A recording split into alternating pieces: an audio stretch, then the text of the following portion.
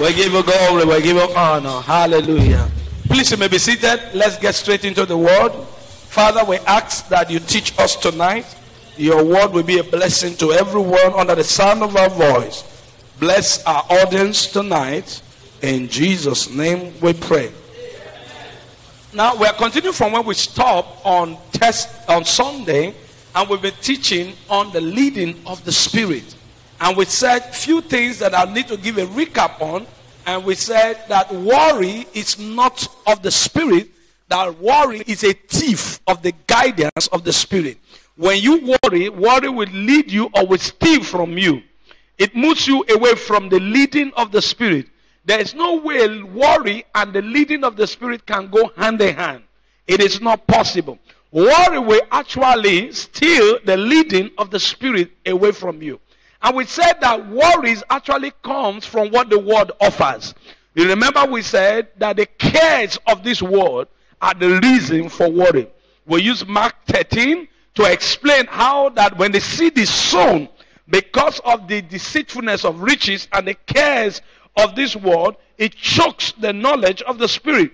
And we know that there is no worry in the Spirit. When it comes to the Spirit, there is no worry. You know, in the psalmist or in the Psalms, you keep hearing words such as, Be still and know that I am God. Because there's no worry in the Spirit. When you get to the arena of worry, all you need to do, do everything within you, arrest the source of worry, and then calm yourself so that you can understand the leading of the Spirit of God. Praise the name of the Lord.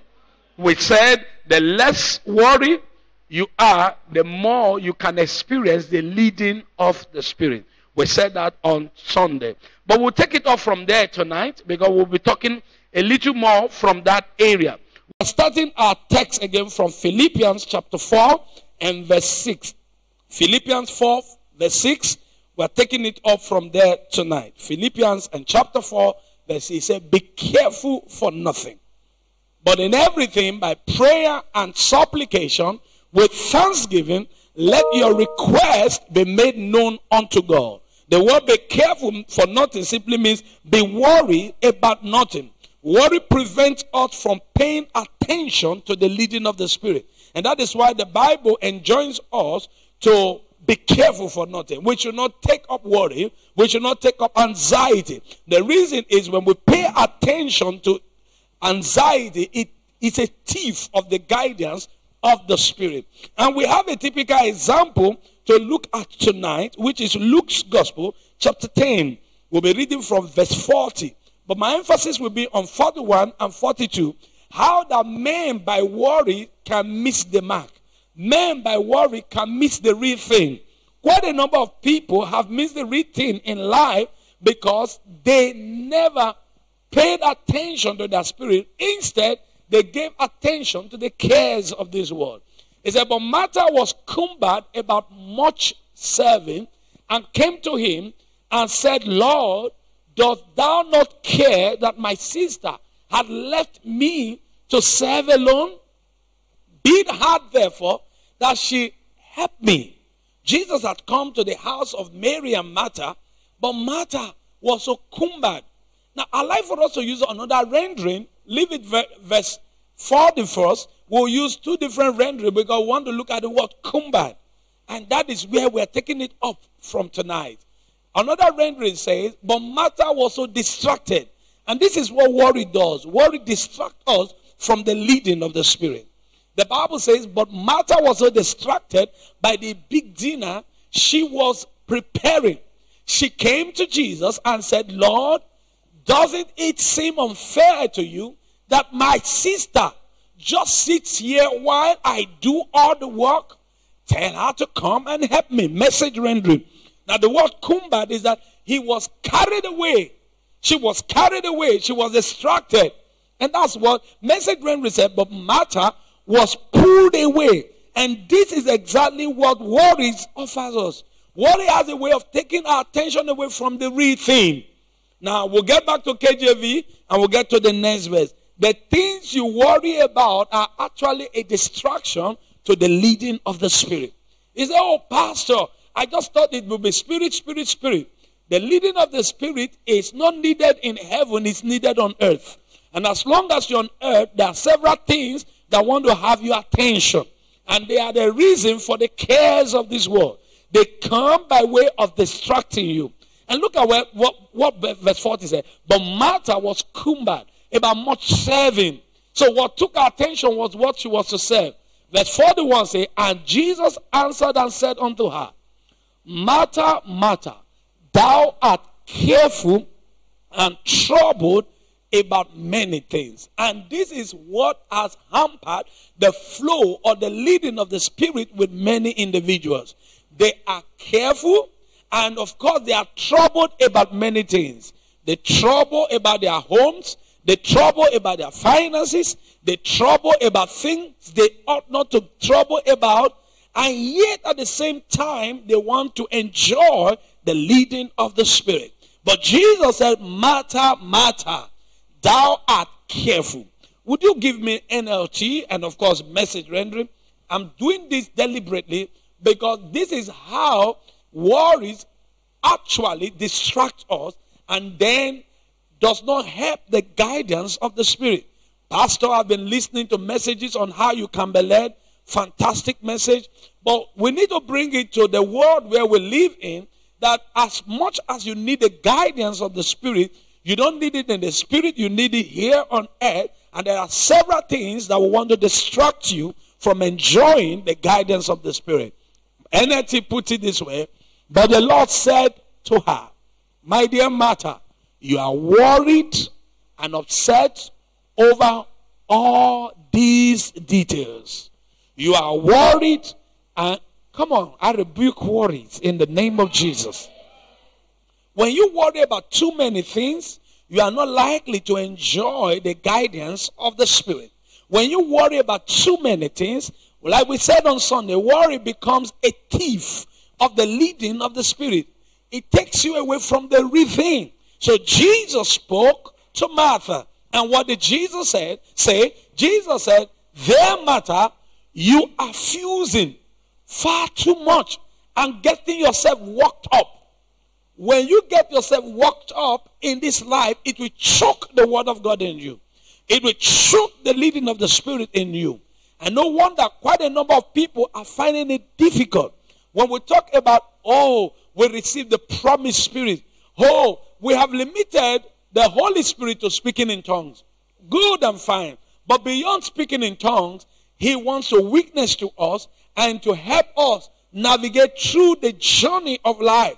Unfortunately, because of the cares of this world, and of course the deceitfulness of riches, that they come to choke the things we learn, and then we are given to worry. And the Bible says it's a fusing far too much and getting yourself worked up. A lot of people are getting worked up. Oh, I wish my husband would just be here to get. No. Sometimes they steal and know that I'm God. In First Kings chapter 19, Elijah needed to hear from God. He felt God was going to be in the wind. He felt God was going to be in the thunder. He felt God would speak as at other time. But the Bible says God was in the still small voice. In the midst of noise and confusion. Not that God is not speaking, but the things around will hamper your hearing or lead or the leading of the Spirit. God speaks all the time. But the things we allow around us, they have a way of taking our attention away from receiving from God. Somebody say, I live above worry. My heart is stayed on him. You know, Mama quoted the scripture in the course of prayer. He said, That will keep him in perfect peace, whose heart is stayed on thee, because thou trusted in him. And that's in, uh, in Isaiah 26, verse 3. That keep him in perfect peace, whose heart is stayed on you. You, you, must, you must keep your heart on him. And that is how to enjoy the leading of the Spirit. And quite a number of people are not enjoying this. And sometimes they say, oh, the devil. No, sometimes before you pray, deal with worry. Say that with me. Say, before I pray, I must deal with worry. So Martha was so careful about many things. And you are not supposed to pay attention to many things. You must focus on what you want and not focus on everything. Martha focus on everything. And this is how to enjoy the leading of the Spirit, being focused on what you trust Him for. You can't be about everything and then still pay attention to the leading of the Spirit. And the frustration is this people end up getting into worry, and from worries, several other things will open up. Among other, among other things that will open up when we give ourselves to worry is what is in Philippians chapter 2, verse number 14. Or maybe 1 Corinthians 10 10. But maybe we start from Philippians chapter 2 14 or 1 Corinthians 10 10, whichever. But when we don't deal with the issue of worries, anxiety, the cares of life, getting upset and fusing about many things, these are the things that happen. Do everything readily and cheerfully. No bickering. The word bickering here is talking about no murmuring. When we allow worries, the next thing that follows must be murmuring. I mean, when we allow worries, the next thing that follows is bickering. That is murmuring. And what is murmuring? These are the things we say to ourselves when nobody is there. Oh God. Oh God. King James put it so succinctly. He said, Do all things without murmuring and disputing.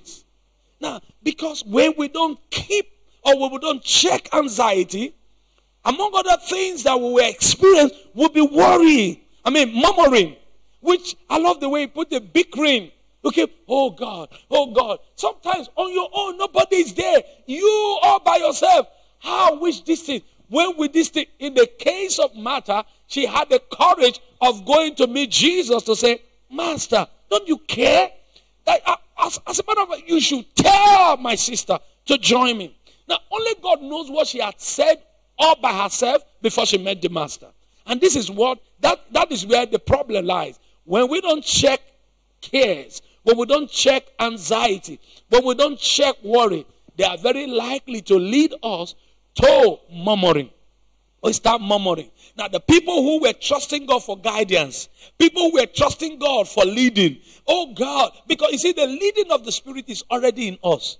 Let me say that again. The leading of the Spirit is already already in us. How is the leading of the Spirit in us? The Holy Spirit is in us. So we are not looking for God to lead us from outside. God leads us from inside. So He's already in us. But you see, the things external to us have a way of making us not to pay attention to the leading we already have inside. And when we don't pay attention to the leading inside, we'll begin to worry. From worry, we'll get into murmuring. Now, let's still leave it in Philippians and chapter 2, verse 14. Let's deal with that because when we don't deal with this, the leading of the Spirit becomes, you know, a mirage. It becomes abstract to us. He said, But I love the way Pastor taught it, but I have not enjoyed it. You have not enjoyed it because you have not dealt with cares. You have not dealt with worries. You have not dealt with anxiety. Once you arrest those things and then begin to, once cares, worries, anxiety, they are handled, the likelihood that murmuring will not get there, will not come in is there. Am I communicating?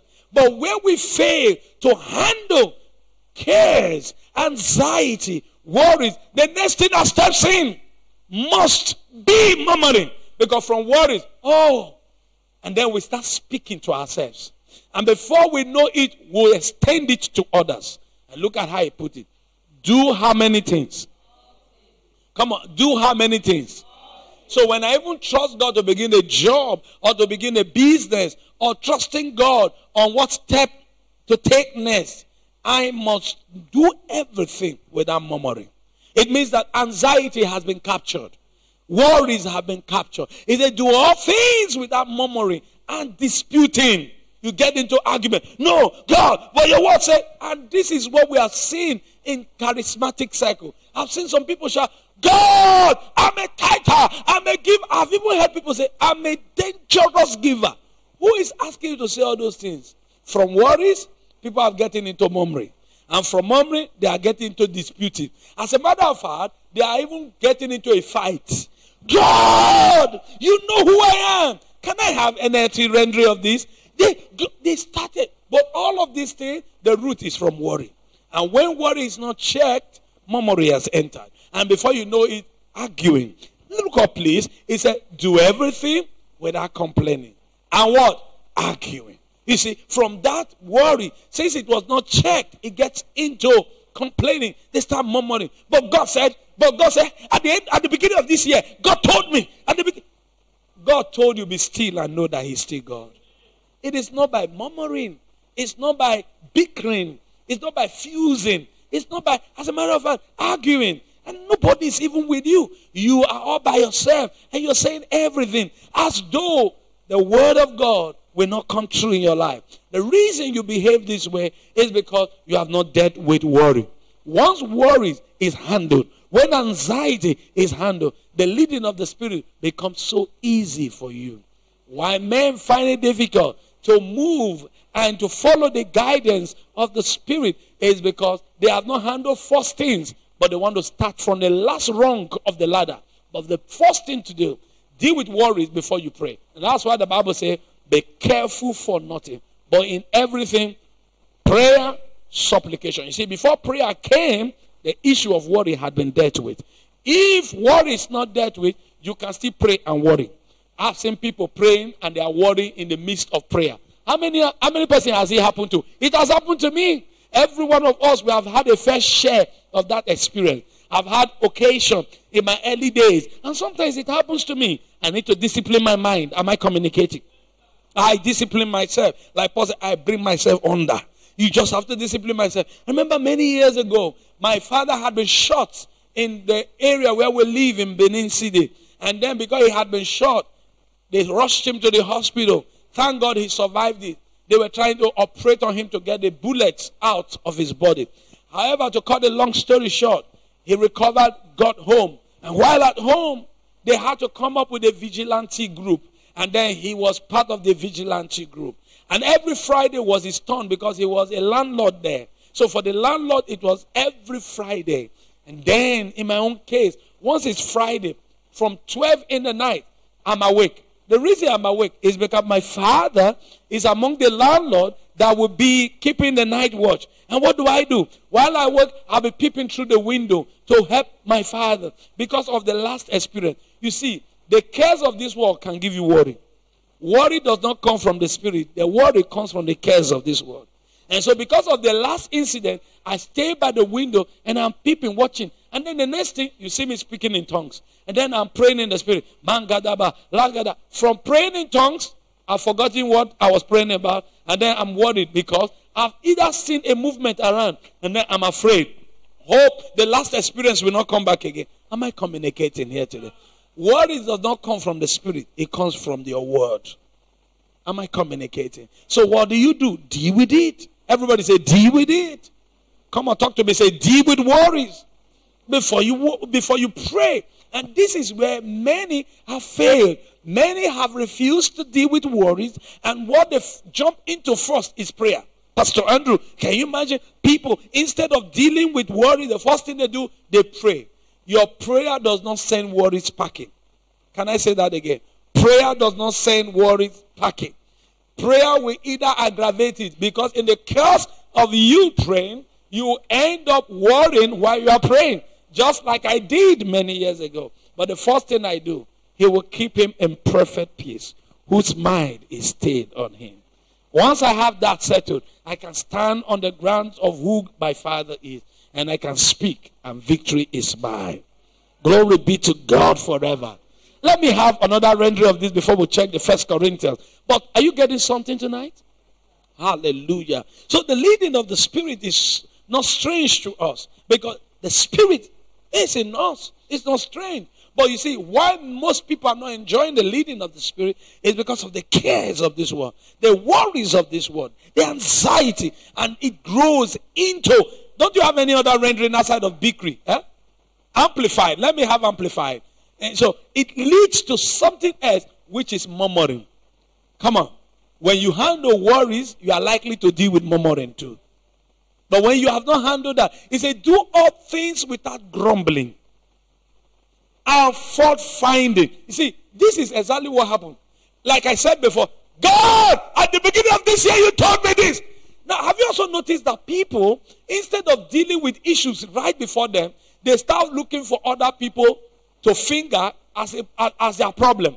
Hey, you did this to me. Is it not Pastor Andrew? Is Pastor Andrew that is making you to behave like this? No. Deal with the issue and stop looking for fault. Am I communicating? You see, when you see people saturated with worries, they get into fault finding too. They get into murmuring, complaining. Then they start looking for who is responsible for my problem. And that is what is happening in our world. You see, this is, when people don't want to give attention to the word of God, they end up in the hands of charlatans, men who will tell them, hmm, your father is responsible for your problem. Because you have not even understood the leading of the Spirit. So you just, ah! I said it. I had a dream. I saw my father. Couldn't you have seen your father before? Or shouldn't you see your father? And what is even bad if you saw your father? Am I communicating? Is he not your father, by the way? But you see, wrong teaching actually affects the kind of dream you have. Can I say that again?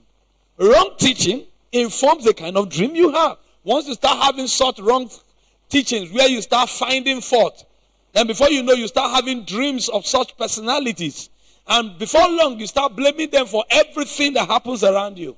But the truth of the matter is, when we deal with worries, then there won't be room for murmuring, bickering, fault finding, complaining. Now let's read it the way it is. It said, Do all things without grumbling and fault finding and complaining against God. Does it happen in our time? Have you seen charismatic boast? I'm a tighter. It's as if God should come, they will tear God. I don't know if you understand. He cannot. I've even seen people shouting about tighter. What they were shouting about actually went bad and nothing happened to it again. You see, they've gotten to a place where they have not handled worry. They have allowed murmuring to enter. And then argument has come. The argument now, complaining, is between them and God. It's as if if I see God now, we'll deal with him. You know, the first step, they have refused to handle worry and they cannot enjoy the leading of the Spirit. The guidance of the Spirit is there. The Spirit of God is domiciled in them. They, the Spirit of God indwelt them. As a matter of fact, you are God's embassy. Can I say that again? You are God's embassy. Anybody that wants to see God needs to come to, through you. You are God's embassy. But people can allow the cares of this world, the deceitfulness of riches. Hey, my children, how will they go to school? Hey, how will this thing happen? No. If he takes care of the birds, he takes care of you. His eyes are all on the sparrows. He, he put it so succinctly. He said, uh, uh, uh, How many sparrows are sold for a farthing? That's to tell you how worthless they are. He said, God is still interested in them. No matter how worthless they are, God is interested. How much more you, O ye of little faith? This is where man need to drop worry. We need to drop worry so we can enjoy the leading of the Spirit. Glory be to God forever. He said, against God and questioning and doubting among yourselves. So you must do things without grumbling, fault finding, complaining against God. And the next thing, you start questioning and, of course, doubting. When you get to this arena, you start doubting everything. Even the things you once believed, you start doubting them. Because you allowed worry. And that's what Philippians 4 says. Eh, be careful for nothing before you pray. Deal with anxiety before you pray. Oh, you know, I'm a spirit brown. I'm, I'm one cut out of fire. Mantele koto. You can do all of that. If you have not dealt with be careful for nothing, you have not prayed. Can I say that again? If you have not dealt with be careful for nothing, but you have not. But now said, but in everything, by prayer now, supplication, with thanksgiving, let your request be made known to God. Now, because if you have not dealt with worries, in the midst of that, your prayer, you will argue, you will complain, you will speak against God, you will doubt. Now, look at the next verse, verse 7. Well, you brought me here. I'll see come back. I'll go back to where we're coming from. Look at the result of praying without worry. Look at the result of praying without worry. Next verse, verse 7, quickly. The result of praying without worry. Hear what the Bible says, verse 7. And the peace of God. Now, why would the peace of God? Because worry has been handled. Glory be to God. Come on, I want you to take a deep breath. Breathe in. Say, I have no cause to worry. Say, my father is in charge. Come on, can we take a deep breath again? The peace of God, which passeth all understanding, shall keep your heart and mind the arena of worry through Christ Jesus. Why? Because you handled worry first. Everybody say, I choose to handle worry. And as such, worry has no place in me. Who is the first to say amen here? All right, let's run through. Take me back to my initial scripture, and then because of time, so that we just wrap it up, and then on Sunday maybe we'll be putting a, a finishing touches to this great topic we started on this uh, promised spirit. Now, take me back to Philippians and chapter 2, verse 14. Have we read that? Or 1 Corinthians 10 10? You know where you brought me from? 1 Corinthians 10 10. Let's just get back there and we'll just uh, take a little more and we're through. Hallelujah. We must be careful not to stir up discontent. Discontent destroy them. Where are we now? I just do you do you like this one? You, you like the rendering? Give me another rendering. You know sometimes message can just give a wrong message. Do all things. Uh, leave it where now. Neither murmur ye, as some of them also murmured. Now, what is the end product or result of murmuring? So, some people are destroyed because they didn't deal with worries. It degenerated to murmuring, and at the end of the day, it's a witch in their village. But look at how the Bible puts it.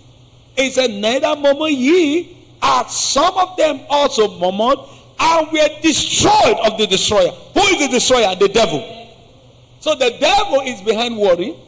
And from there, when it degenerates, you are giving him opportunity to operate in your life. The same way we have the leading of the Spirit, the same way the devil wants to take you away, distract you, take you away from your place. Give me, okay, good. He said, Nor should you, we complain as some of them did, and we are killed by the destroyer. We know the destroyer, for he comes to steal, to kill, and to destroy but I have come that you have life. Now take note. How did the destroyer come? When we fail to handle worry, it degenerated to murmuring and complaining, and then we opened up. At the end of the day, he said, But Pastor, we started that church. I can tell you the history of that church. Look at my head. We were the one carrying sand and block. We built that church. Where is that God? Eh-eh. It is not where is that God. It's which God have you known? It's not the God of man you are called to know. It's the God of the Bible you are called to know. Did you hear what I just said? You are not called to know the God of any man. See, the God of this commission. Something is wrong with you. You should know the God of our Lord Jesus Christ, not the God of a commission. Can I say that again? You should know the God of our Lord Jesus Christ, not the God of a commission. Because God is not localized to a commission, He's a universal God. And He's a Father of our Lord Jesus Christ. Glory be to God forever. Now we'll begin to summarize tonight by using this. Uh, he said, "No, discontentedly complain as some of them did, and were put out of the way entirely by the destroyer. That destroyer was death. When we get to that level, you see, it's, it's, a, it's a thief of the leading of the Spirit. Worry. Worry is a thief of the guidance of the Spirit. And we need to talk about it because we can tell you the, how you can enjoy the leading of the Spirit without teaching you on not, not dealing with distraction. These are the distraction, the things that will hinder the flow of the Spirit, the leading of the Spirit, the guidance of the Spirit. Glory be to God forever. I choose not to worry. I say, I choose not to worry. I refuse to worry. Everything is falling in place for me. The lines are falling in place and places. Yea, I have goodly heritage. Ah, great grace is upon me. My inheritance is in the saints, in light. Everything I will ever need has been, has has been supplied abundantly. God, who created me, made enough provision before I came forth. My God supplies. My God supplies. I have no need to worry. Glory be to God. Now, have you, can you see when we handle this, the guidance of the Spirit becomes like this. Where worry, anxiety, cares are handled, man. And look, look at irrespective of the fact that all of these things are in place already. Look at Ephesians 1:13. Let me remind you of what has happened in you. But with what has happened in you, if you don't handle these things, those things will be there, and yet you will not enjoy it. Ephesians 1:13. I'll just quickly read through uh, four scriptures of five. Ephesians 1:13, Ephesians 2:22.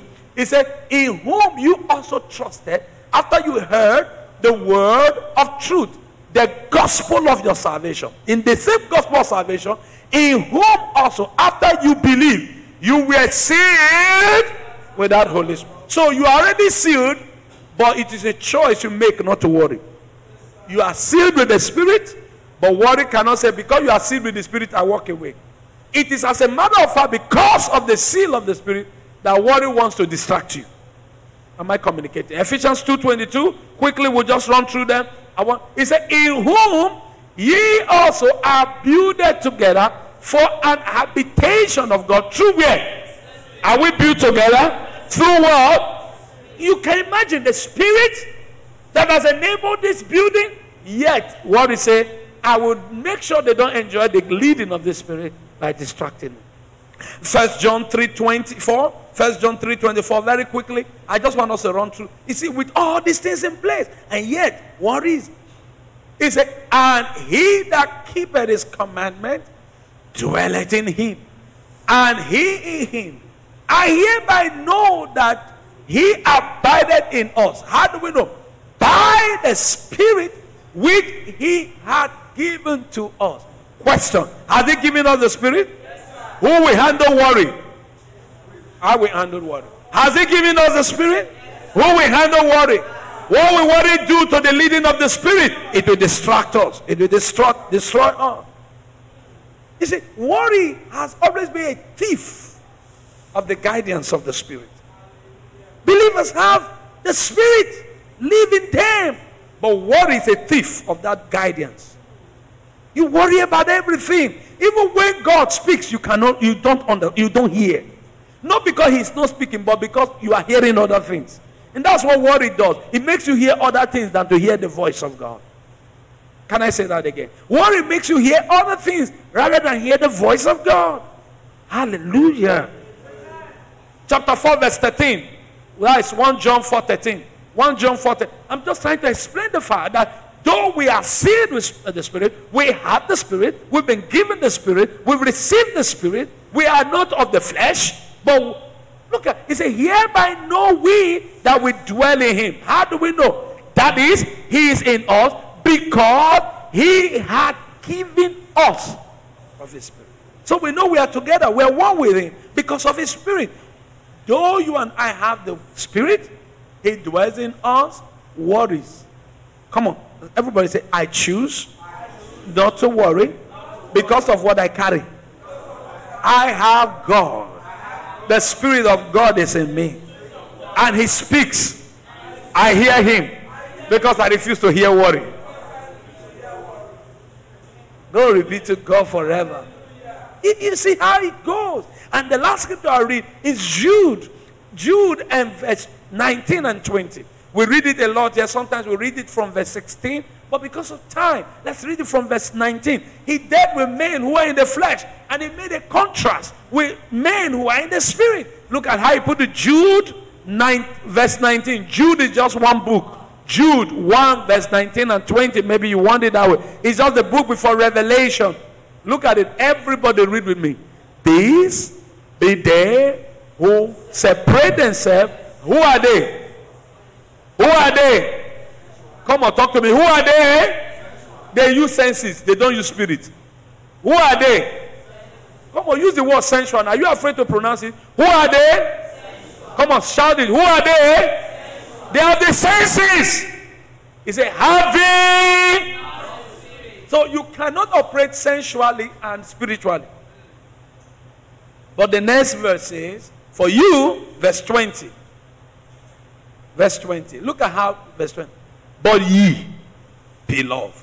Those of us in the spirit, we are beloved. Building up yourselves on your most holy faith. Praying in the Holy Ghost. Because the Bible says, He that prayed in an unknown tongue, his spirit prayed. So every time we pray in tongues, our spirit, because that is where we are. That is our abode. That is our habitat, natural habitat. Glory be to God forever. So, as much as all these things are in place, when we don't handle worry, worry, worry, if we don't handle worry, it has a way of dealing with us. Hallelujah. So, how do I deal with worry? Point one, and then I will continue on Sunday. James 1:19, and I'll see you on Sunday because our time is fast running. I have five minutes more to be true. James 1:19 is how you handle worry. Glory to God. James 1:19. Blessed tonight. Hope your coming to church was not a waste tonight. James 1:19. Hallelujah. Wherefore,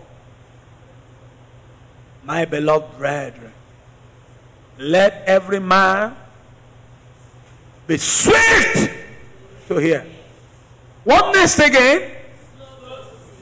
And slow.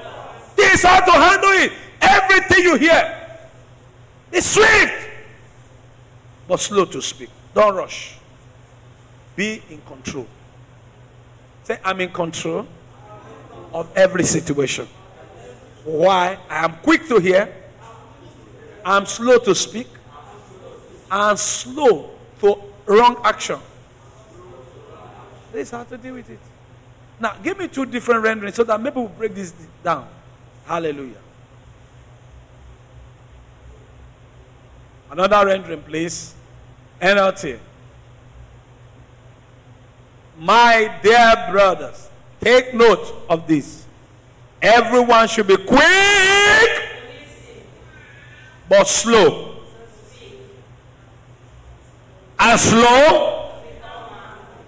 When we get to this level, we have checkmate all these things. Eh, did you hear what happened? Yes. What next? Say, calm down. Don't rush. Then you would have seen it completely. You would have had a better view before you know how to speak and before you know how to take action. But there are persons, he said we should not be like the horse or the moon.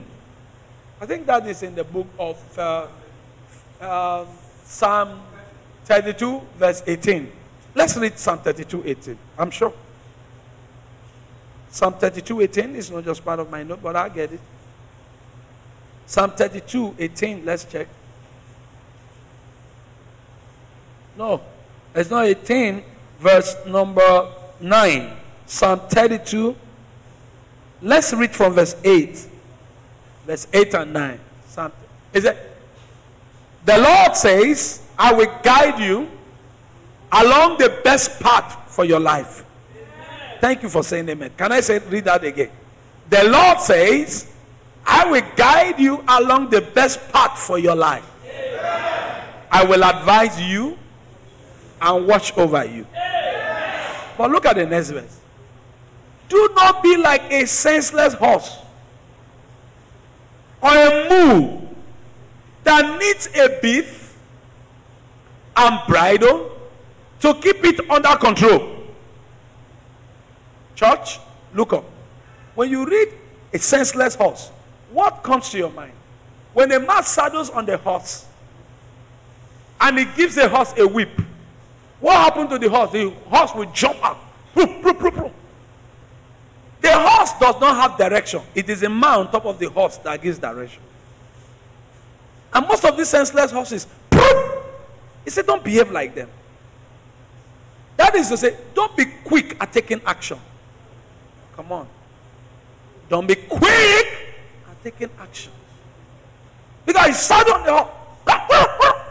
The, the horse doesn't even, it will not take the man on top to start directing, giving direction. And that is why how some believers live. At the slightest thing that happens, yeah, it's about brethren. James 1:19. Slow, quick to hear, slow to speak. Don't rush out. Should I use another rendering? Maybe we'll get a rendering that will help me. Give me the, another rendering of verse 9, and then we'll read that, James. I think my time is up. Quickly. Which rendering is this? Is CN90? Okay. He said, Do be ye not as the horse or as the moon, which have no understanding, whose mouth must be held in with bit and bridle, lest they come nigh unto thee. This is system like the King James. So think of a better rendering to give to me before we close. Huh? Yes, it's like the NLT, sorry, that's what I mean. Don't be honoring like a horse. No, it still does. It's a um, it still does. It. Don't be stupid like a horse or a mule, which must be controlled. That's the point I'm looking for. How come people will be on the road before they start looking for direction? You can get direction before you set out. Can I say that? Can I say that again? How come it is when people run out before they start looking for where, which way? But you can actually know the way before you run out. The life of the horse is that it has no direction, but it will jump out.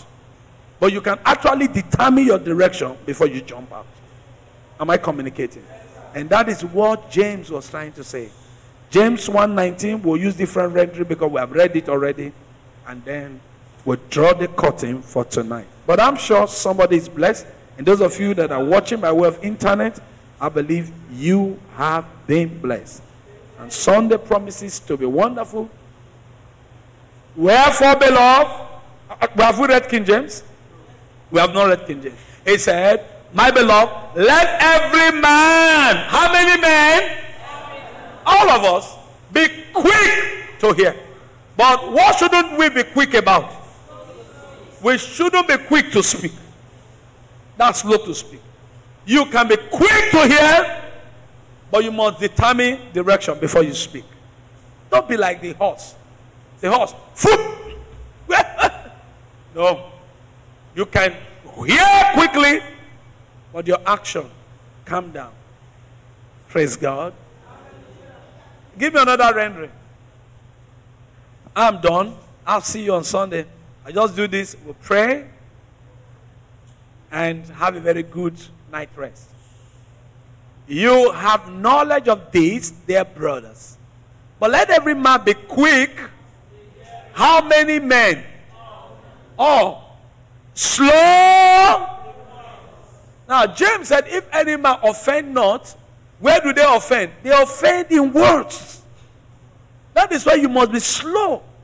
Because offenses begins with in words. Did you not see the way that sister just a very simple thing? I just asked about this. He just she spoke to me rashly. Ah. Calm. The psalmist said, Be still. Receive quietness in your spirit. You didn't hear me. I said, receive quietness in your spirit. Don't be rash. Don't be in a hurry. Learn to speak when you to speak. How to speak. The Bible says, let your words be seasoned with salt, that it will minister grace to the hearers. Let it be. Who Pause this and all the intercessions. Dear friends, lead with your ears, follow with your tongue, and let anger strangle along in the rear. He has just described your car. Get to the intersection, lead like that is your driving. He's just showing you how you drive through this life. Be quick to hear. This is how to enjoy the leading of the Spirit. And quite a lot of people have made a shipwreck of it. You say, How come? And that is, this is why you hear people, when you just hear a prophet is in town, they run to the person. A noisy prophet is prophesying to you. He's actually speaking from a strange spirit to you because you don't need noisy people to speak into your life. You just say, they jump around. Hey, hey, hey, you! I'm seeing. Are you from Rivers? Because they need you to guide them. Are you from Rivers? Say, yes. I'm seeing somewhere towards towards Akwa Ibom. You are from uh, Ogoni. From Ogoni. Say yes. Have we met before?